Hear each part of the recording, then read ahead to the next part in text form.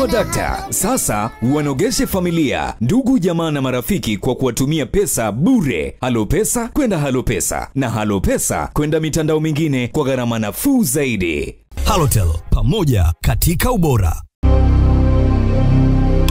Tatizo la watoto wenye vichwa vikubwa na migongo wazi linatajwa kuandama mikoa ya kanda ya Ziwa, ambapo katika hospitali ya rufaa ya Bugando jijini Mwanza inafanya upasuaji wa watoto hao 400 kwa mwaka. Hayo yamebainishwa Novemba 29 mwaka 2018 na mkuu wa idara ya upasuaji Bugando, Dr. Hans Claudi, wakati wa shughuli ya upasuaji wa ubongo na mishipa ya fahamu inayoendelea katika hospitali hiyo kwa kushirikiana na daktari bingwa kutoka nchini Uganda.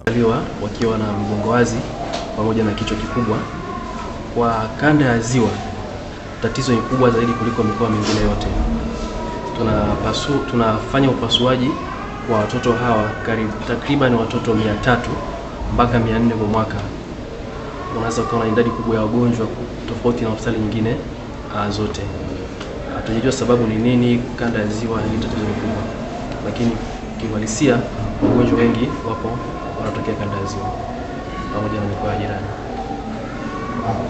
Ili kurahisisha upatikanaji wa huduma na vipimo kwa watoto hao, hospitali hiyo imepokea mashine ya ultrasound yenye thamani ya shilingi milioni 35 kutoka shirika la Child Help International nchini Belgium kwa kushirikiana na shirika la marafiki wa watoto nchini. Janet Manoni ni mwakilishi wa shirika la Help International katika mabara yanayoendelea, anasema watoto wengi wanakufa sababu ya figo kushindwa kufanya kazi. kwamba Child Help International yenyewe kama mfadhili wa hawa watoto imeona kuna tatizo kubwa sana la watoto wetu kuharibika kwa figo. Nitaielezea. Watoto wenye mgongo wazi wanazaliwa wakiwa na tatizo kwenye kibofu na mfumo wao wa choo.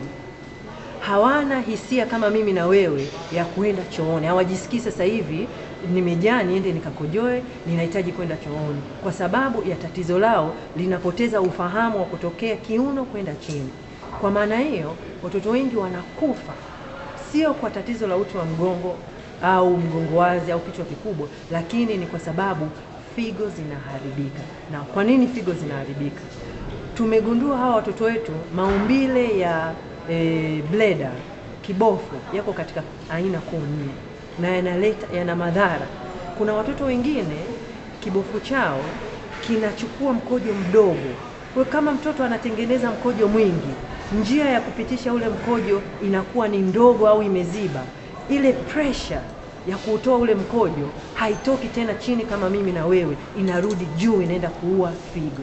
Naye daktari bingwa upasuaji ubongo kutoka Uganda Alex Muhindo anasema kwa kipindi cha wiki moja wamefanya upasuaji wa watoto 24 na wanalenga kuwafanyia wagonjwa 35 kwa kipindi cha wiki mbili. uh, from Uganda.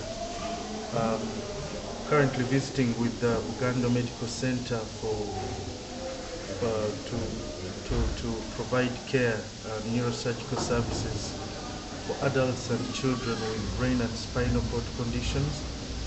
Been here for the past one week, and uh, we've had a number of consultations as well as uh, operations in theatre.